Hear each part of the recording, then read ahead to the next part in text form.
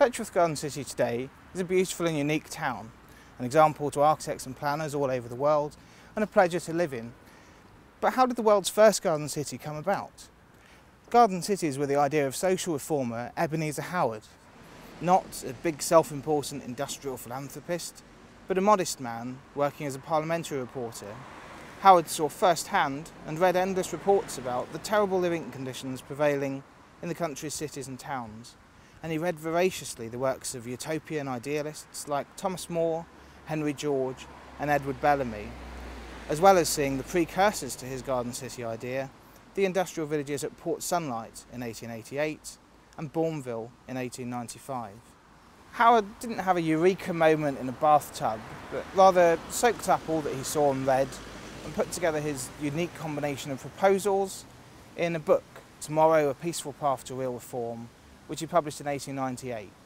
In it he wrote, Town and country must be married, and out of this joyous union will spring new hope, a new life, a new civilization. Howard proposed that garden cities would combine the best aspects of town and country with all of the opportunities but none of the problems that each afforded.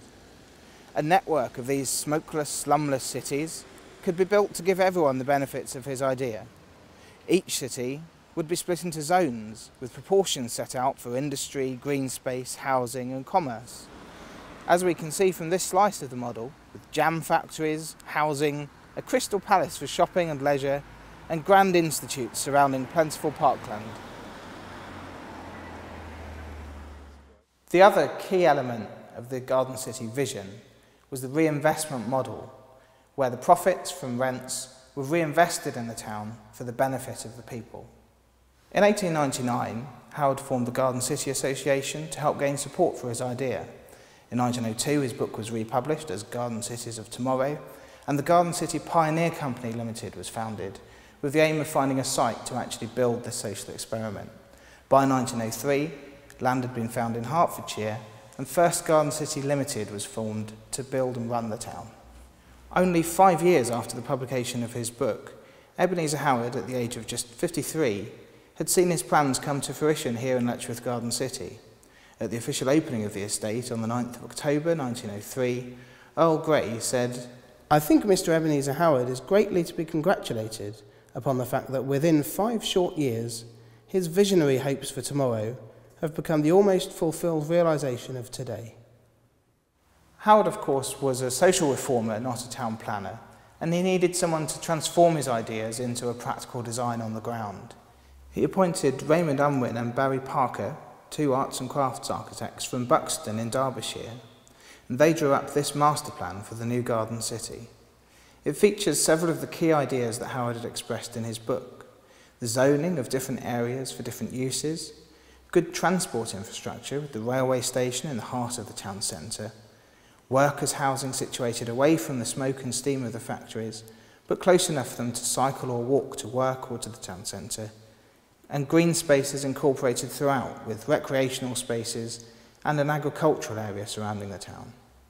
The exhibition here tells the story of the Garden Cities movement, but just across town we have an archive of objects that tell the history of the town called the Garden City Collection. We have over 80,000 items that tell the rich social history of Letchworth and the people that worked here. These include items that were made by Letchworth Industries, such as Marmet and K&L and the Spirella Corset Company.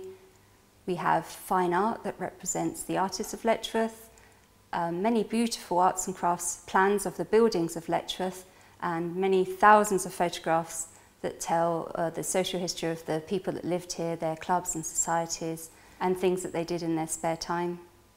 The collection also represents the Garden City movement. We have the archive of First Garden City Limited and its successors, and we have researchers from around the world who come to look at this archive and our extensive collection of library books, which tell the story of Letchworth, of course, and also the places that it influenced. The success of Letchworth Garden City saw the idea spread, with garden suburbs in almost every city in the country, most notably at Hampstead in London. There followed a second garden city at Welwyn, and ultimately the post-war new towns.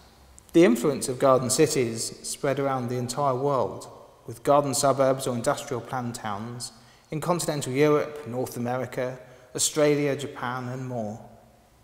Ebenezer Howard's vision is alive and well here in Letchworth Garden City, with its unique reinvestment model and the success of the planning of the town.